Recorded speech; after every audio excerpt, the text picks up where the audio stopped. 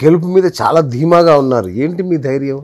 ఇంతమంది తొంభై ఐదు మంది ఉన్నారు కదా పోటీలో. నేను ఆలోచనలు నేను మీకు ఒకసారి నా షేర్ చేస్తే ఒకసారి నా ఆలోచనలు మీరు వింటే నాకు మీరు తప్పకుండా నాకే ఓటేస్తారు. చెప్పండి ఏమాత్రం. అనుమానం లేదు. అవునా? వెరీ గుడ్ చెప్పండి మీ ఆలోచనలు. ముఖ్యంగా ప్రజ ఈ యొక్క కేంద్ర రాష్ట్ర ప్రభుత్వ విధానాలు ప్రజలను ఆర్థికంగా నిర్వీర్యం చేసే దిశగా ఉన్నాయి. ఒకటి ఎగ్జాంపుల్గా వన్ బై వన్ చెప్పుకుందాం. విద్యా వ్యవస్థ చూడండి. ఇప్పుడు రాజ్యాంగంలోని ఆర్టికల్ ట్వంటీ వన్ ఏ ప్రకారము విద్య అనేది ఈ ప్రాథమిక హక్కు ఫండమెంటల్ రైట్ దాంట్లో కూడా ప్రజ ప్రభుత్వము ప్రభుత్వ స్కూల్స్లో నియామకాలు చేపట్టకుండా సరైన నిర్వహణ చేయకుండా ప్రజలు తప్పనిసరి పరిస్థితులలో ఈ యొక్క ప్రైవేట్ స్కూల్స్కు పంపించి చదివించే విధంగా ఉన్నాయి. ఈరోజు పట్టణ ప్రాంతంలో సెవెంటీ త్రీ పర్సెంట్ పిల్లలు ప్రైవేట్ స్కూళ్ళలో చదువుతున్నారు. ఇది సిగ్గుపడవలసిన విషయం. ఎందుకంటే ఈ విధ ఒక సగటు వ్యక్తి తన జీవితకాలంలో సంపాదించిన వన్ బై థర్డ్ ఆదాయం ఈ యొక్క ప్రైవేట్ స్కూల్స్కు లక్షల లక్షలు ఫీజులు చెల్లించడానికే సరిపోతుంది. ఈ విధంగా లక్షల లక్షలు ఫీజులు కట్టి చదివించిన చదివిన పిల్లలకు పోనీ ఏమైనా ఉద్యోగాలు వస్తున్నాయా? అవి లేవు. ప్రభుత్వ ఉద్యోగాలు ప్రభుత్వము ఎలాంటి నియామకాలు చేపడతలేదు. గత ఆరు సంవత్సరాల్లో ఏ అవసరమైన పోలీస్ వ్యవస్థలో లేకపోతే కంపెన్షనరీ గౌన్స్లో లేకపోతే ఆల్రెడీ కొ- కొన్ని కొన్ని డిపార్ట్మెంట్లో చాలా స్కెలిటన్గా కొన్ని ఉద్యోగాలు ఫిలప్ చేయడం జరిగింది.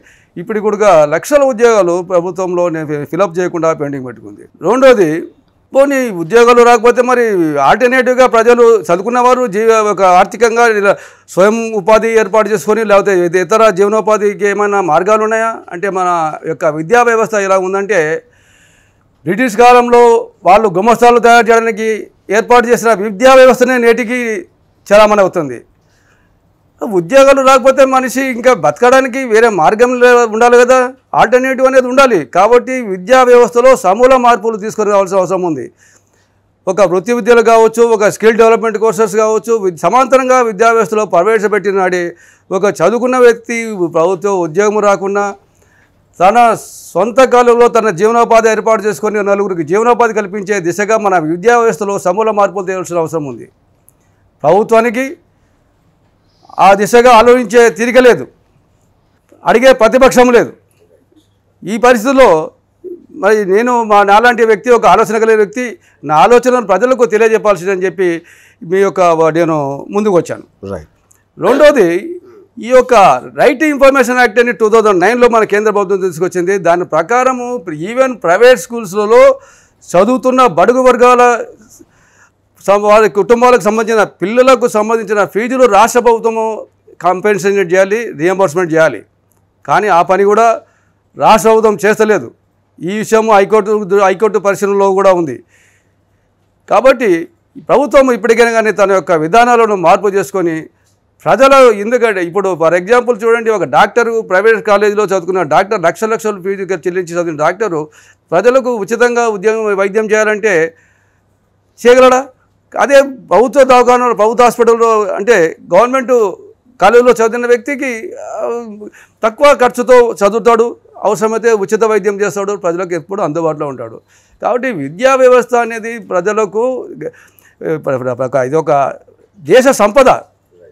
మన ప్రజలు చదువుకున్న యువకులు దేశ సంపద.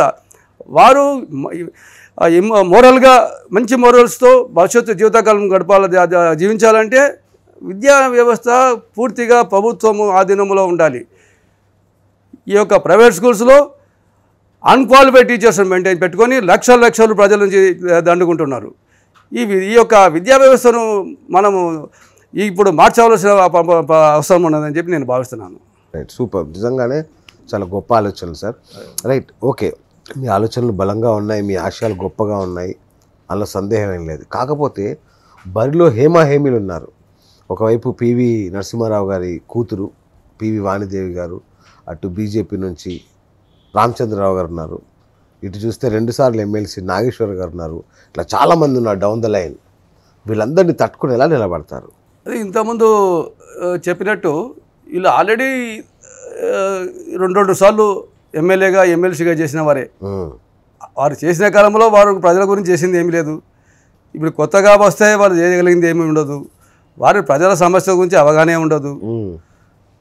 దేశ యొక్క వీళ్ళు అందరూ దాదాపు ఆధిపత్య కులాలకు చెందిన వారే. దేశ సంపద తొంభై పర్సెంట్ వాళ్ళ చేతులలో ఉంది. వాళ్ళు గడిచిన ఎన్నో సంవత్సరాల నుంచి అధికారంలో చెలాయిస్తున్నారు. ఇంకా చెలాయించడానికి కుదరదు. ప్రజల మనిషిని ప్రజల నుంచి వచ్చిన వాడిని ప్రజా సమస్యలు తెలుసు. ప్రజల యొక్క క- క- యొక్క కడుపు నొప్పి అనేది మాకు తెలుసు కానీ ఈ గొప్పవారికి ఏం తెలుస్తుందండి? వీళ్ళు ఉన్న వీళ్ళ అధికారంలో ఉన్నంత రోజులు ప్రజలకు ఏ ఎలాంటి ప్రయోజనం ఉండదు.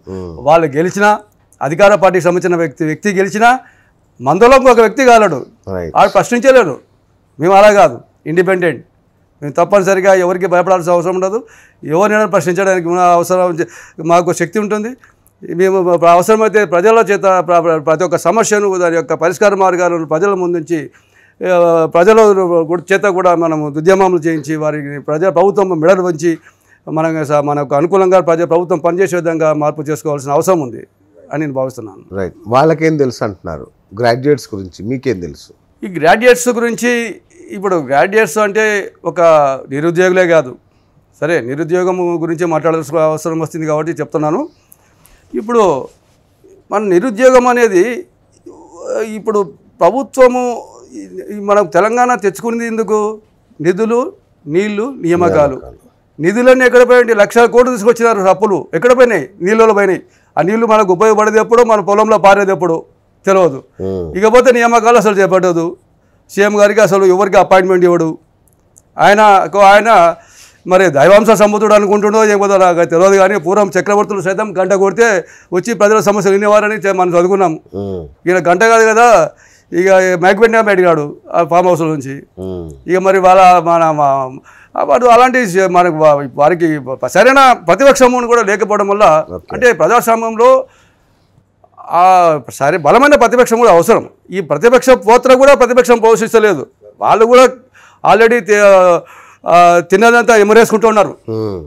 ఆల్రెడీ వాళ్ళ వాళ్ళు పరిపాలన ఉన్నప్పుడు తిన్నదంతా బయట తెచ్చుకొని నెమరేసుకుంటూ హ్యాపీగా ఉన్నారు. ఈ ప్రజా సమస్యలు వాళ్ళకి పడుతుంటలేరు ఈ ప్రజల సమస్యల నుంచి ప్రజల నుంచి మా మన సమస్యలు మనమే పరిష్కరించుకోవాలని నేను భావిస్తున్నాను. కాబట్టి మీలో ఒకనే నేను ముందుకు వచ్చాను పోటీ చేయడానికి. మీ మాటల్లో మంచి నిజాయితీ ఉంది. మాకు నచ్చింది మీ మాట. థ్యాంక్ యూ సార్ రైట్ నమ్మకమైన మీ ఆర్థిక నేస్తం భవితశ్రీ చిట్ ఫండ్స్. భవితశ్రీ చిట్స్తో శ్రీకారం బంగారు భవిష్యత్తుకు సాకారం. ఇంతకీ మా ఛానల్ సబ్స్క్రైబ్ చేసుకుంటారుగా? గంట కొట్టడం మాత్రం మర్చిపోవద్దు.